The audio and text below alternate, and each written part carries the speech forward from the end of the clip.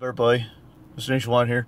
Yeah, so anyway, I'm over at the DMV, just uh, renewing the license plate sticker and the registration same time, and the property taxes.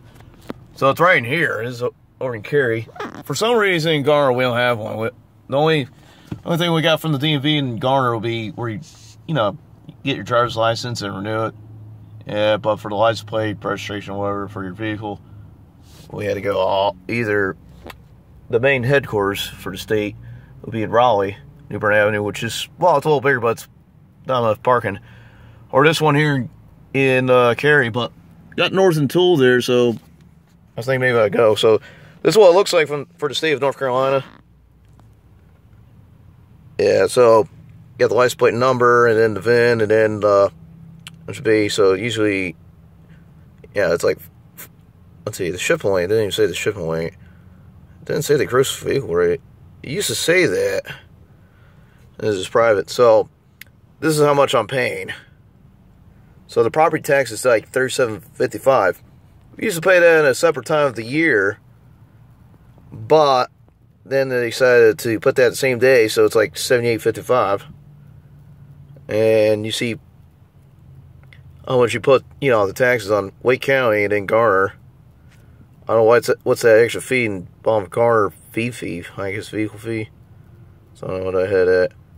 And then they said the price value is like 1900 990 which in my opinion this truck is worth 3500 This is the license plate sticker, so I had to put down the license plate. So this is what it looks like. And I'll show you what it looks like in the back. So, you know, it has all kinds of rules here saying, uh, you know, that you must have uh, liability insurance register a vehicle in North Carolina. And, well, okay, if you have to change the address, uh, just notify within 60 days, and that makes sense. And then, in no event will motor vehicle's registration renew unless the taxes on that vehicle has been paid, which I think is ridiculous. But, I mean, this is I mean, it's not a bad price uh, for me, well, for this particular truck. If I was driving a one-ton diesel truck, then I had to get like uh, what's called a weighted license plate. It's like a North Carolina truck license plate, but it just said weighted. It's kind of plain and boring looking. You know, it's white and has blue letters. And used to be before that, you know, until 2005, uh, you had to get the license plate each year See, there will be one with the, the years stamped in, just like in, we did in old days, but since they had the license plate stickers for them back in 2005 when I had to use it. So yeah, my dad had that in his truck. I mean, he still got the same license plate from 2005. Yeah, but it's going to cost a lot of money. See, it costs like over $100. I think my dad's like paying uh, like $160 just just to renew that damn truck. It, it was ridiculous. And it's because the damn gross vehicle weight rating, so that's why I never bought a diesel truck. So I gotta put the license plate sticker in the back. So I got least fold this like I had the one from last year.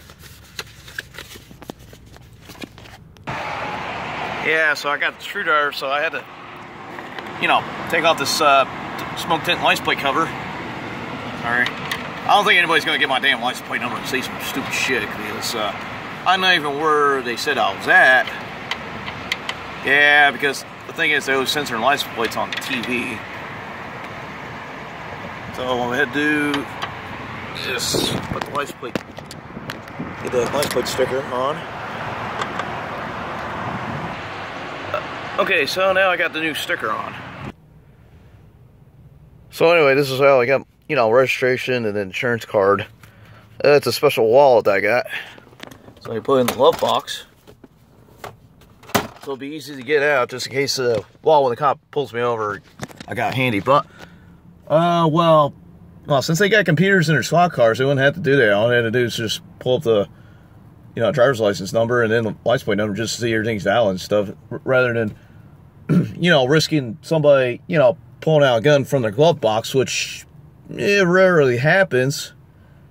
But if somebody didn't have a gun inside the glove box and just reaching out to get a registration and then the cop shoot that person and then find out there's a gun and uh oh shit that's a big mistake yeah because a lot of times like it'll happen that way but uh, since they just read up the information on their computers it'd be a lot safer just look up, the you know the driver's license number and the license plate number. So anyway, because uh, well, a couple weeks ago I I did flunk the you know the inspection, but I passed because I went to another place. So yeah, see, look, I passed. Yep. Yeah, this this is what we do for the emission testing. So what I do is uh, I check the converter to make sure it's uh, intact, make sure it's not tampered with, or make sure it's a factory one or factory replacement. The interjection system, it does not have one because it's a, you know, 96 and newer, so they don't have that shit. Basically, that's like an air injection pump that is belt driven. It goes to the converter, which, uh, oh, that does burn a lot of gas. PVC valve still intact. The unleaded gas uh, restrictor, it's passed. Exhaust gas recirculation, that's the EGR, that's passed. The thermostatic uh, air temp air control. I don't know what that is. It doesn't have it, so it's not applicable. And let's see, the fuel evaporative control is passed, oxygen sensor passed, and the gas cap passed. And then they did the OBD testing, so everything passed. So that's how they do the emission testing in North Carolina. Uh, and like other states like California or uh, Oregon or the state of Washington or Colorado, their emission testing is like a lot more stricter, especially California. They do a damn smog testing. So what they do is just put like a damn, uh, you know, tube on your tailpipe and put your wheels on the roller. So no matter what drivetrain you have, or if you have all-wheel drive, you have like in all the rollers, and it's like, you know, like a speed dyno, just to see how much pollution it's going to throw out or whatever RPMs it is and shit. And they're like revving, revving the engine you know, just not treating your vehicle right in terms of you pass or not, especially with the diesel trucks that still have to take it. Diesel trucks in North Carolina don't have to take an emission test. And So this is the inspection they checked so far. So I mean, this is a lot better than what what they have in uh, Pennsylvania or Virginia. Like especially in Virginia, is like uh, they have the the state police, uh, you know, check everything and shit.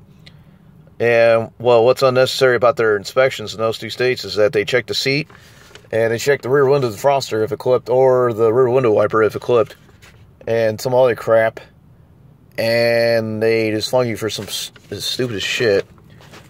Like, uh, I know, let's say you have a third brake light that has uh, multiple uh, bulbs, like either it's LED or just the incandescent with uh, four sockets or more. Now, if you have like uh, maybe two or three that are out, but the rest are still working. They'll flunk you for that, which I think is ridiculous. Well, the one in the tr- well, my truck, it still works, but they, but some of, I mean, get flunked for that. And another thing, uh, another car I had, I got flunked on, you know, the inspection because uh, I have a broken side marker lens. It's in that Chrysler New Yorker, but the reason why it's broken is because uh, it got hit by a car when it was parked. And the lens is broke. The bulb still works, it's just that uh, you go to the junkyard, can't even find it. Can't even find a part for it. So I'm stuck out looking for a part, and I got flunked for that, which I think was retarded. Yeah, so well, this this is all what it looks like for the state.